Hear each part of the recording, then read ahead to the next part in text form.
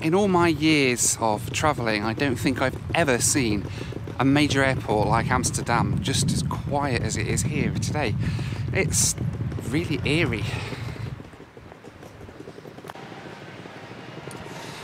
So today I'm heading up to Stockholm in Sweden. I've got a few engagements up there this week and getting there by plane is the only way that you can really do it at the moment because there's land borders closed everywhere. This is the first time I have flown in about four months now, so it's going to be interesting to see what's changed and how the different things are at the moment. At the time I took this flight, Amsterdam was down to around 25 departures a day. As a result of this, the airport was pretty quiet, but the flights were all fairly full, as most cities saw just one flight a day from Amsterdam. It's a really surreal feeling walking around such a deserted airport. Your attention, please. The Mayor has passed the municipal ordinance with regards to social distancing as a precautionary measure against the spread of COVID-19. To reduce the number of touchpoints around the terminal, KLM's self-check-in machines are all out of use. Security was a breeze with so few passengers. Floors marked out in 1.5 metre intervals to help practice social distancing compared to the 2 metres in use in the UK. Passengers were still pretty good at social distancing in the security line though. Once airside, Amsterdam at least, most shops and restaurants are open with some exceptions. There's more people airside than landside, but it's still pretty quiet compared to the normal hustle and bustle of Schiphol. Another side effect of the coronavirus crisis is that most airport lounges are closed. KLM Crown Lounge in Schiphol is shut, but they do have another lounge open somewhere else in the terminal.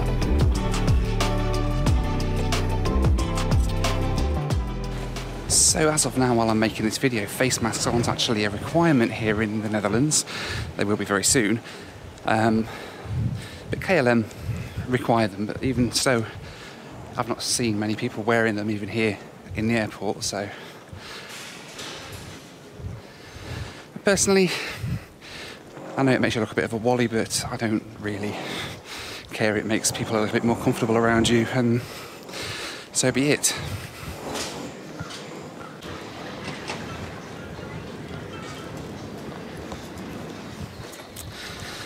And social distancing not really much of an issue here at um, Schiphol because there's not many people around to social distance. Um, it's only one and a half metres here as well, compared to the two meters that we have back in England for some reason. Um, it's for some reason it's different here, but um, yeah, oh, look at those things. Planes. How long since I have seen some of those? So KLM are one of the few airlines still flying at the moment, and even they have so many planes grounded up. Their, their route network is literally a handful of flights a day um, across Europe there's only one a day to Stockholm, for example, like the one I'm taking, and usually they have four or five. hits. and Stockholm's one of the ones that is still running. A lot of them have been stopped altogether. It's um, not good, not good at all. My gate today was right at the furthest end of the furthest pier, I'm not quite sure why with barely any flights they're using the gates at the furthest ends of the airport. I can only presume it's either to keep passengers from mixing too much or it could just be the Jeremy Clarkson factor. And then you get to a corner and is it the end? No, there's another mile of corridor to get down. No one in the history of aviation has ever flown from gate one. There are no gate ones anywhere in the world. Here's your ticket, gate 374. Where's gate one? When I eventually got to gate 374, um, I mean gate D84, I got to see my ride for my first flight after the crisis. It's a Boeing 737-700 delivered brand new to KLM in 2011 and now painted in their special 100 year anniversary livery. At the gate area most seats are taped off to help ensure social distancing. Virus, we kindly request that you stick to the following guidelines when boarding and entering the aircraft. Try to maintain a distance of at least one and a half meters between yourself and other passengers and between yourself and KLM employees. You are obligated to wear mouth protection. When we start the boarding process, please put on your mouth mask. If you don't have one, can you please make yourself known here at the desk? Ladies and gentlemen, please put on your safety mask where you're going to stand in the lane to, uh, for the boarding procedure. Have your own boarding card ready to scan. And keep a safe distance from each other, from at least one and a half meters. Thank you. Boarding via one lane, so you may come forwards. Keep a safe distance from each other of at least one and a half meters. And when you're here at the gate, please put on your safety mask. All passengers waiting in the lane, you have to put on your uh, safety mask, please. Thank you. Hello. Hi. All the gate agents are behind these temporary plastic screens to help reduce the risk of infection. Okay, here goes. It was time to do something that seemed impossible just a few weeks ago get on board a commercial flight.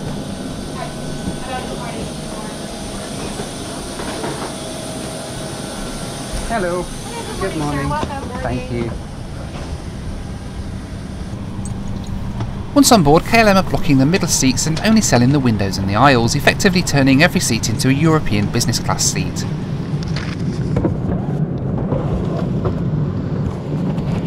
A snack and a drink are left on the seat, and there's no cabin service at all during the rest of the flight. It feels like so long since I've been able to be on a plane, but it's good. It's all very strange though still. Kijk, in verband met het coronavirus deze vlucht een sterk aangevoerd. And we have a special corona text for you this morning. KLM's highest priority is to ensure a safe flight, even under the current circumstances.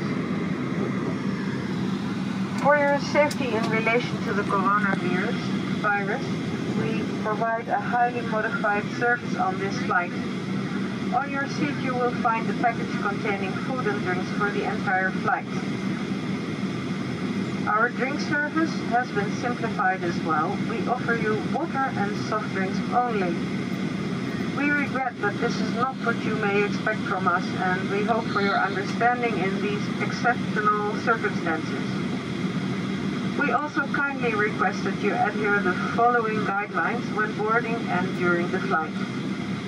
During the entire flight, it is mandatory to wear your face mask or appropriate face covering. To maintain distance between yourself, other passengers and cabin crew. For example, when you are in line for the lavatories. Try to avoid physical contact. Collect your waste in the disposal bag and take it with you upon disembarking. Try to avoid unnecessary contact and prevent going to the galley. If you need assistance, you can press the crew call button. Also adhere to the following general guidelines. Do not shake hands, sneeze or cough into your elbow, use paper tissues, and wash your hands regularly with soap and water. Thank you for your cooperation.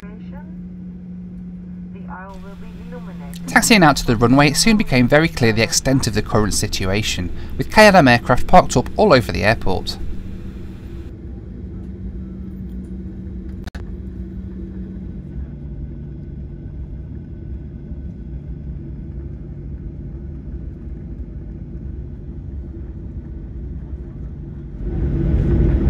Dames en heren, een hele goede morgen vanuit cockpit, eh, de gezagvoerder.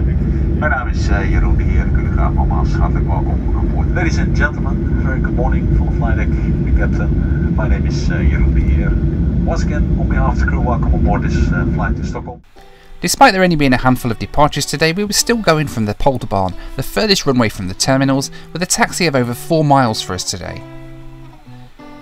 Eventually, though, we were lining up and I heard the 737's engine spool up, a sound that never felt quite so good.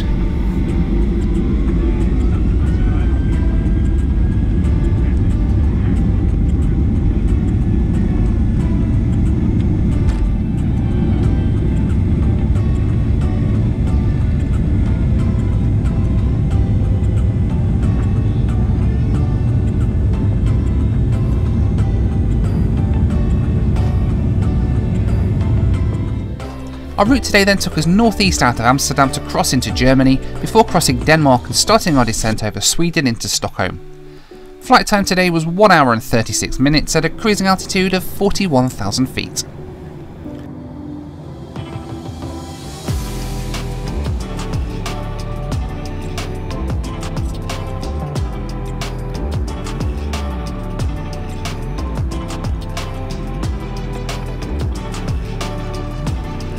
Snack service today consisted of a bottle of water, a sandwich, and a Dutch special cookie.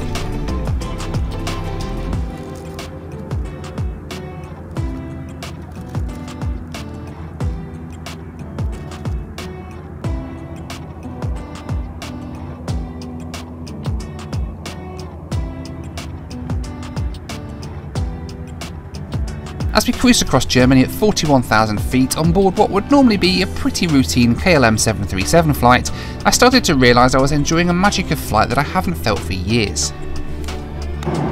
It feels more liberating than I ever thought to actually be sat here at 40,000 feet over, could be anywhere, but that view out there, it kind of gives me hope.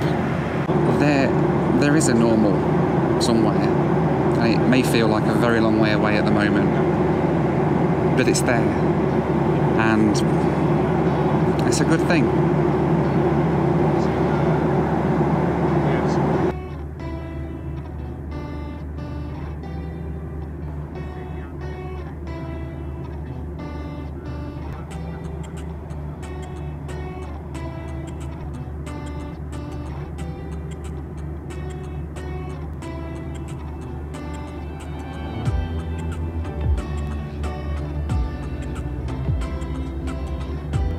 As we started our descent over the beautiful countryside of Sweden, I savoured every moment of this flight. I was glued to the window like an excited child on their first ever magical flight. This was just a 737 flight, but yet I was enjoying it as much as I enjoyed flights on Soviet airliners over Russia or a turboprop airliner landing in some remote community in Africa. The magic was back and I never wanted this flight to end.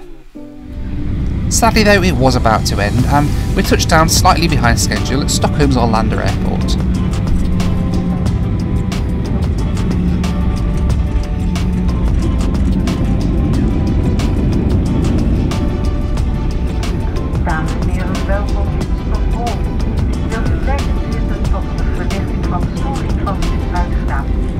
One-way flights are expensive right now due to the lack of seats available combined with the high demand. My flight today cost £288 for a one-way ticket or 40 pence per mile.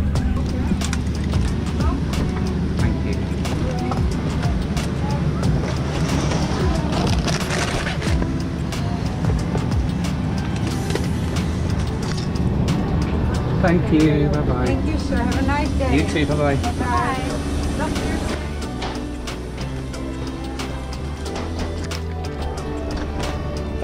Stepping off the plane into Stockholm, things felt very different again to back in the UK.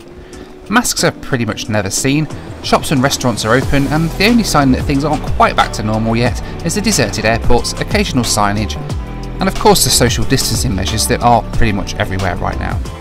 All flights are going from Terminal 5 at the moment, but even still the terminal's eerily quiet. Before leaving the airport, I've got to say hello to a cute new friend.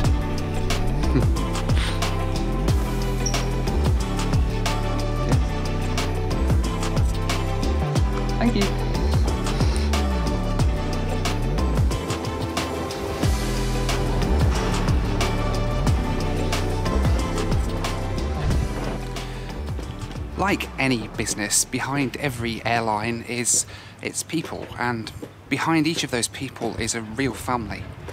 And to be honest, they're struggling right now. The staff, their families, this knock on impact of what's happening at the moment is affecting so many people. Going forward, we're going to have to support these people. And if that means flying more and travelling more, well, we're going to have to do it. But the question is, how do you do that in a safe manner? Now, sure, you can send planes 50% full, but that's never going to be a sustainable option, not for any airline. But right now, it may be the only option. Going forward, I think eventually airlines are going to have to start filling their planes just as they were before, and the emphasis is going to be on flying healthy and stopping people from travelling if they are unwell. But it's just a really awkward situation to um, move forward from. Thanks so much for watching. Take care,